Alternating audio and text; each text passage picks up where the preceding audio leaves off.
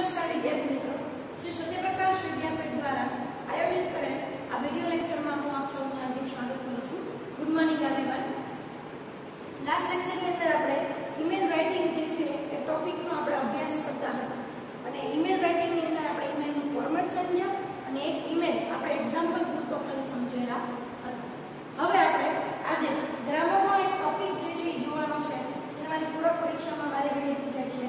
એ છે ગ્રામરનો ટોપિકનું નેમ છે ડબલ્યુએચ ફ્રેમિંગ ક્વેશ્ચન બરાબર ફ્રેમિંગ ક્વેશ્ચન જે તમે ધોરણ 10 માં ઓલરેડી ભણી ગયા છો ડબલ્યુએચ ક્વેશ્ચન ને હાઉ વાળા સેન્ટેન્સ ને એ બધા ભણી ગયા છો who what where when how many how much એ બધા સેન્ટેન્સ જે છે એ તમે પ્રીવિયસ લેક્ચરમાં એ સેન્ટેન્સનો તમે અભ્યાસ કરી ચૂકેલા છો બરાબર તો હવે આજે આપણે એ ફ્રેમિંગ ક્વેશ્ચનનો ટોપિક જે છે એ આપણે જોવાનો છે ચાલો તો ફ્રેમિંગ ક્વેશ્ચનનો ટોપિક જે છે એ આપણે જોઈ લઈએ. એ પહેલાં તો એ સમજાવી દઉં કે આ ટોપિક જે છે, એ આપણે ધોરણ બારના બેઝ પ્રમાણે જો જોવા જઈએ, તો ધોરણ બારના બેઝ પ્રમાણે આ ટોપિક જે છે, એનું તમારે વેટેજ જે છે થ્રી માર્ક્સનું છે. બરાબર? ત્રણ માર્કની અંદર એક્ઝામમાં એમસીક્યુના ફોર્મેટમાં પૂછ્યું છે. બરાબર? એમસીક્યુ બહુ ઇઝીલી બહુ સહેલા એવા એમસીક્યુ હોય છે એમના. બરાબર? અને ત્રણ માર્કની અંદર તમારે એક્ઝામમાં પૂછે છે. જે રીતના ધોરણ દસની અંદર તમારે પૂછાતું એ જ રીતના તમારે ધોરણ અગિયારમાં અને બારમા ધોરણની એક્ઝામમાં પૂછાય છે. અત્યારે આપણે ધોરણ અગિયારમાં છીએ, તો બારમાની એક્ઝામમાં પણ આપણે એ જ રીતના પૂછાય ચાલો, તો ઇન્ટ્રોડક્શન જોઈ લઈએ આપણે શું કહે છે? તો એના બે ફ્રેમિંગ ક્વેશ્ચન છે, એના બે પાર્ટ પડે છે. ડબલ્યુએચ વર્ડ અને હાઉ વર્ડ બરાબર? ડબલ્યુએચમાં શું આવે? Who what where when why which whose બરાબર? આ બધા જે છે સેન્ટેન્સ એ શેમાં આવશે ડબલ્યુએચ વર્ડ હાઉ માં પહેલા આવશે? હાઉ મેની હાઉ મચ બરાબર? How often how far how long આ બધા વર્ડ જે છે એ શેમાં આવશે હાઉ બરાબર? તો જો શું છે અંગ્રેજી ભાષામાં પ્રશ્ન પૂછવા માટે પ્રશ્નસૂચક શબ્દ તરીકે ડબલ્યુએચ અને હાઉ વાળા શબ્દો વપરાય છે. બરાબર? રાઈટ આપણે પ્રશ્ન પૂછવો છે અંગ્રેજી ભાષામાં. અંગ્રેજી ભાષામાં પ્રશ્ન પૂછવા માટે થઈ અને કયા પ્રશ્ન, કયા વર્ડ વપરાય છે? ડબલ્યુએચ અને હાવ વાળા શબ્દો જે છે, એ વાપરવામાં આવે છે. આગળ હવે આપણે જોઈએ કયા કયા વર્ડ જે છે એ છે. આટલા પ્રકારના વર્ડ છે એ આપણે જોવાના છે. ટોટલ ચૌદ વર્ડ આપણે જોવાના છે. પેલા કયા આપણો છે? who, what, where, when, why whom whose, which. આટલા જે છે WH વર્ડ છે. બરાબર આઠ આપણે WH વર્ડ જોવાના છે. અને બીજા જે છે એ આપણે જે છે, એ આપણે કયા વર્ડ જોવાના છે? એ હાઉ વર્ડ એટલે આપણે કયા કયા છે? How many how much how far how long અને હાઉ ઓફન અને હજી એક વર્ડ છે છે ખાલી હાવ બરાબર? એટલે ટોટલ છ વર્ડ જે છે, એ આપણે કયા જોશું? હાઉ વાળા અને આઠ વર્ડ જે છે ડબલ્યુએચ વાળા આપણે જોઈશું પહેલો પાર્ટ સૌથી પહેલો વિભાગ જે છે, એ આપણે જોવાનું છે હુ વાળા સેન્ટેન્સ સો એ ડબલ્યુએચ વાળા વર્ડ જે છે, એ આપણે જોવાના છે. બરાબર?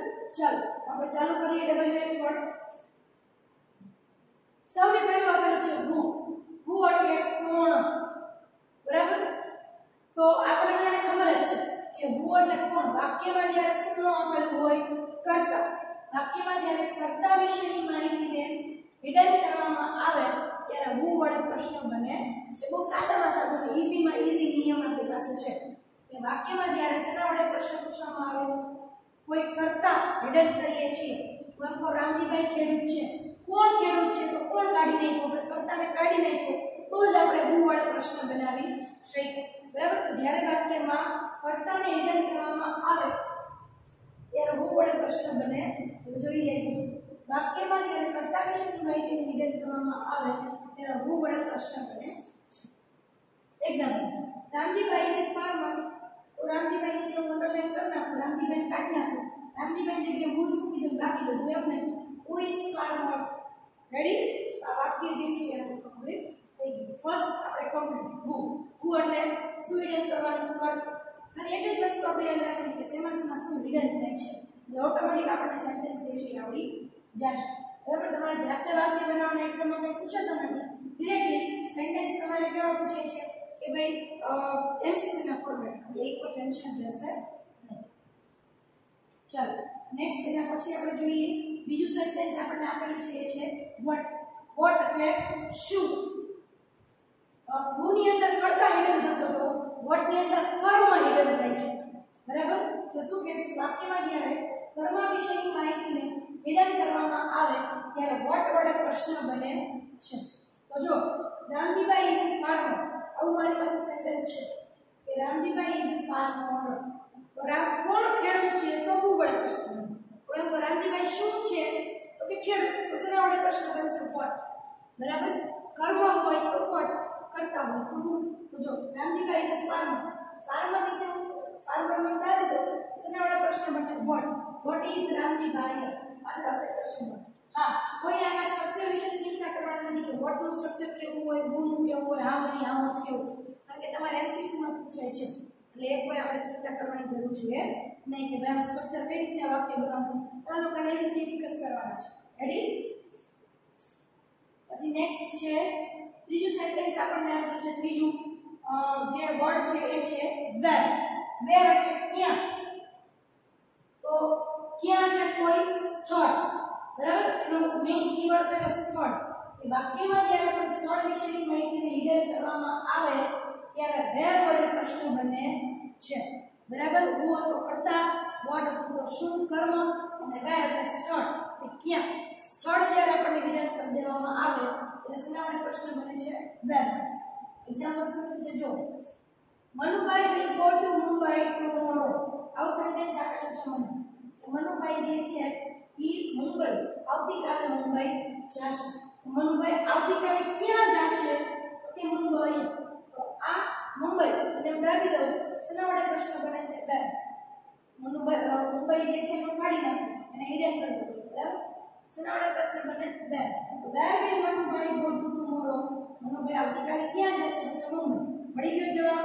જેના વડે પ્રશ્ન તમે બનાવો છો, જે વર્ડ વડે એ વર્ડને તમે કાઢી નાખો એટલે તમારું મૂળ વાક્ય જો તમને પાછું પડી જાય, તો તમે બનાવવાનો જે વર્ડ તમે જે ઉપયોગ કરેલો વર્ડ જે છે, એ સાચો છે એમ કહેવાય રેડી આ તો ત્રીજો વર્ડ બે લખ્યા, અને પછીનું આપણે જોઈએ શું કહે છે એના પછીનું. ચોથું આપણને આપેલું છે એ છે વેન વેન એટલે સમય. સમય બરાબર? વાક્યમાં જ્યારે કોઈ સમય વિશેની માહિતીને હિડન કરવામાં આવે સમય, ત્યારે શેના વડે પ્રશ્ન બને છે? વેન વડે પ્રશ્ન બને છે. જો સમય સ્થળ હોય તો વેન સમય હોય તો વેન બરાબર? એક વસ્તુ ખાસ યાદ રાખજો વેન માટેના કેટલા બધા અલગ અલગ અલગ અલગ ઘણા બધા વર્ડ યુઝ કરવામાં આવે છે. અત્યારે પ્રોપર એક વર્ડ યાદ રાખી લો વેન બરાબર? જેમ જેમ આપણે આવતા જશે ત્યારે તેને સમજાવતી જઈશ. કઈ રીતના થાય છે. બરાબર?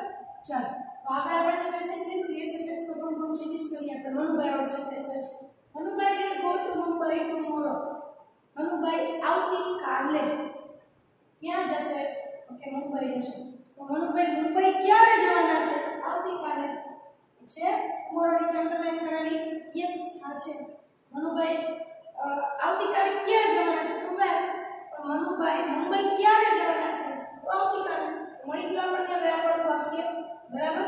તો એના માટે કયું સેન્ટેન્સ કયો વર્ડ યુઝ કરવાનો છે ભાઈ સમય આવે એના માટે આવશે.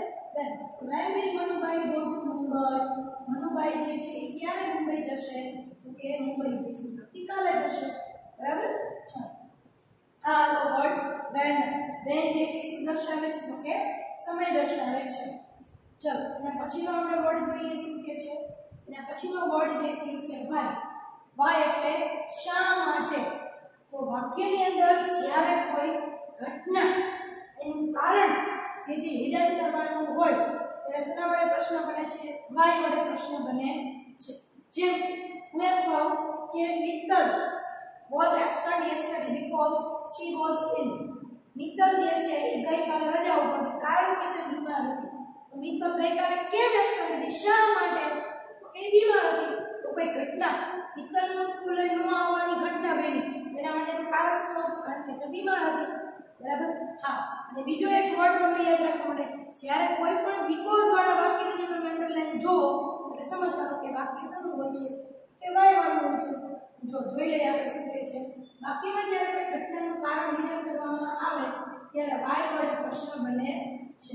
જેમ કે જો Hina was absent yesterday because she was ill તો જો, આ બીકોઝ જે છે એ વાળા વાક્ય નીચે અંડરલાઈન કરેલી છે? આ છે. બીકોઝ વાળા વાક્ય નીચે તમે અંડરલાઈન જો અને સમજવાનું કે વાક્ય કયું છે? કે વાક્ય તમારે પ્રશ્નાર્થ વાક્ય જ્યારે બનાવવું, એના માટે તમારે વાય કીવર્ડનો યુઝ કરવાનો. Why was Hina absent yesterday Hina શા માટે ગઈકાલે છે? હતી જવાબ મળી ગયો. યસ આ મળી ગયો because she was in underline કરેલો જવાબ મળી જવો જોઈએ. તો આપણે જે વર્ડથી વાક્ય બનાવેલું છે, એ વાક્ય આપણું સાચું રહેશે. બરાબર? આ હતું વાય વાય એટલે શા માટે? એના માટે કીવર્ડ કયો યાદ રાખવાનો બીકોઝ કોઈ ઘટનાનું કારણ ઇનેન કરેલું હોય ત્યારે બીકોઝ વડે પ્રશ્ન બને છે. બરાબર?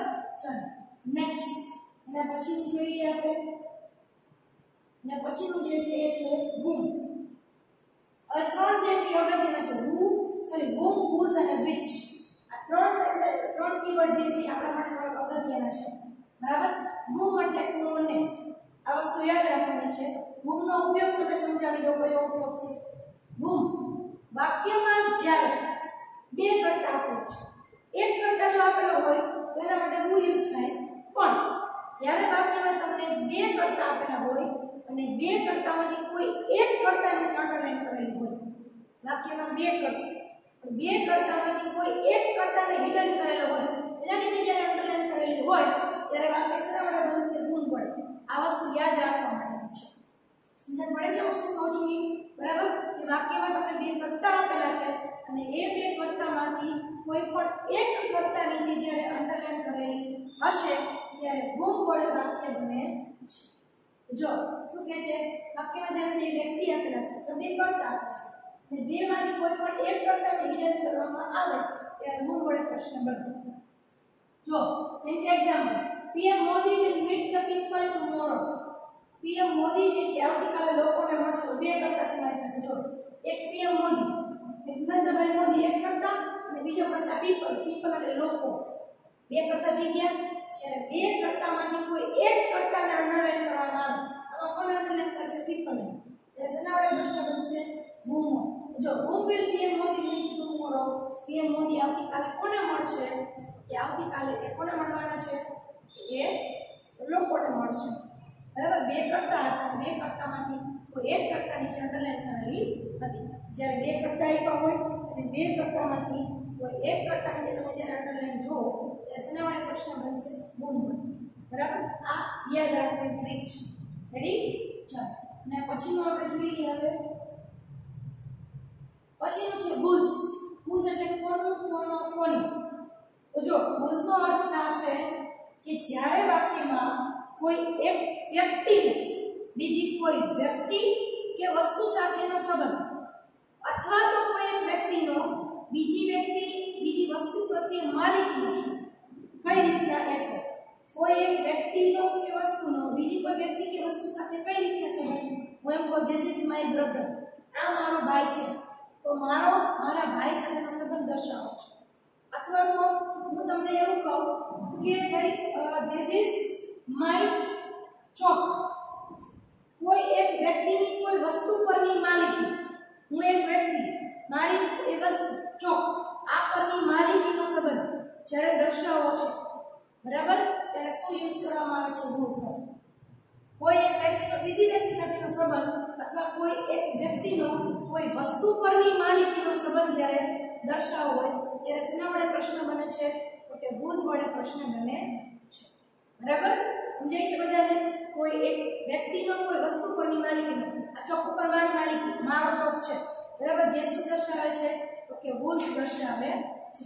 રેડી જો વાક્યમાં જ્યારે કોઈ વ્યક્તિનો કોઈ વસ્તુ સાથેનો સંબંધ અથવા તો કોઈ વ્યક્તિનો કોઈ બીજી વ્યક્તિ સાથેનો સંબંધ દર્શાવેલો હોય, ત્યારે હુઝ વડે પ્રશ્ન બને છે. મેં શું કીધું એ જ રીતે.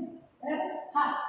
અને આ ને યાદ રાખવા માટેની શોર્ટ ટ્રીક whose ઓળખવું હોય કે આ વાક્યમાં whose કીવર્ડનો યુઝ થાય તો તમે જોયું એપોસ્ટ્રોફી એસ વાળો જો કોઈ શબ્દ નીચે અંડરલાઈન તમે જો એપોસ્ટ્રોફી એસ વાળા શબ્દ નીચે.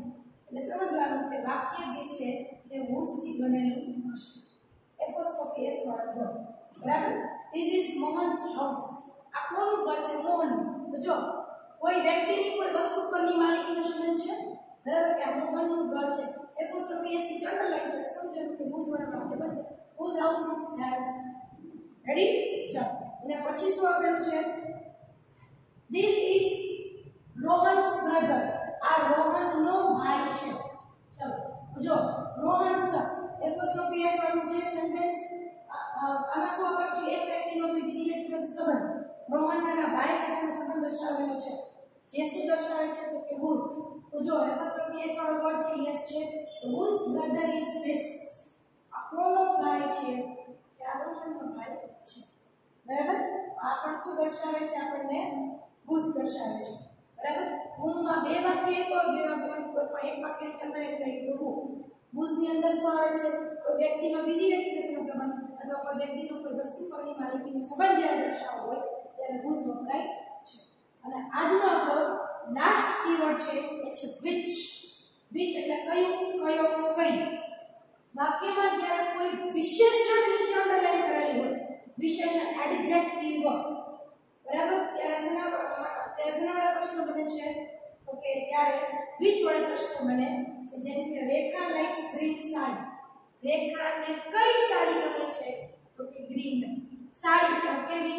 એડજેક્ટિવ નામના અર્થમાં વધારો એને શું કહેવાય? વિશેષણ કહેવાય ને? તો નામ છે સાડી. સાડીના અર્થમાં વધારો કરે સાડી પણ કેવી સાડી? તો લીલી. બરાબર? તો વિશેષણ નીચે જ્યારે અંડરલાઈન કરેલી હોય, ત્યારે શેના પ્રશ્ન બનશે? કે ત્યારે પ્રશ્ન બનશે? પીચ બરાબર? જો રેખા લાઇક્સ ગ્રીન સાડી, રેખાને કઈ સાડી ગમે છે? સાડી ડઝ રેખા લાઈક રેખાને ગ્રીન સાડી ગમે બરાબર? ચલો, આજે આપણે ટોટલ આઠ વર્ડ જોયા. પહેલો વર્ડ આપણે જોયો હું. હું શું દર્શાવે છે કર્તા કર્તાની જન્મલાઈન કરેલી હોય તો હું, બીજો વર્ડ આપણે જોયો. વર્ડ કર્મની જન્મલાઈન કરેલી હોય તો વર્ડ ત્રીજો વર્ડ જોયો. વેન વેર મોડ હિડન કરવા માટે સ્થળ. પછી છે બેન સમય હિડન કરવા માટે બેન પછી આપણે જોયું વાય વાય શું યુઝ કરાવે છે? વાય ઘટનાનું કારણ હિડન કરવા માટે વાય છઠ્ઠો જોયો આપણે, એ જોયો આપણે ગુમ વાક્યમાં બે કરતા આપ્યા હોય, બે કરતામાંથી કોઈ એક કરતાને હિડન કરવો હોય ત્યારે ગુમ પછી જોયું આપણે બુઝ બુઝ શું દર્શાવે છે? કે વાક્યની અંદર કોઈ એક વ્યક્તિનો બીજી વ્યક્તિ સાથેનો સંબંધ અથવા કોઈ વ્યક્તિનો કોઈ વસ્તુ પરની માલિકીનો સંબંધ દર્શાવવો હોય, ત્યારે બુઝ અને છેલ્લો કીવર્ડ આપણે આજનો જોયો છે વિચ વાક્યમાં કોઈ વિશેષણ નીચે અંડરલાઈન કરેલ હોય, ત્યારે શેનો યુઝ કરવામાં આવે છે. ત્યારે વિચ વાપરવામાં આવે છે. બરાબર? તો આપણે ડબલ્યુએચ વર્ડ આ આઠ ડબલ્યુએચ વર્ડ જે છે એ આપણે આજે જોઈએ. આજ માટે આપણે આટલું જ રાખીએ. ડબલ્યુએચ વર્ડ આજે આપણે કમ્પ્લીટ કર્યા. નેક્સ્ટ લેક્ચરમાં જ્યારે આપણે મળીશું, ત્યારે આપણે હાવ વર્ડ વર્ડ જે છે એ આપણે જોઈશું. તો આજ લેક્ચર આજના લેક્ચર માટે આટલું જ. આઈ હોપ સો આજના લેક્ચરમાં આપણને કાંઈ પ્રશ્ન નહીં હોય. થેન્ક યુ ધન્યવાદ.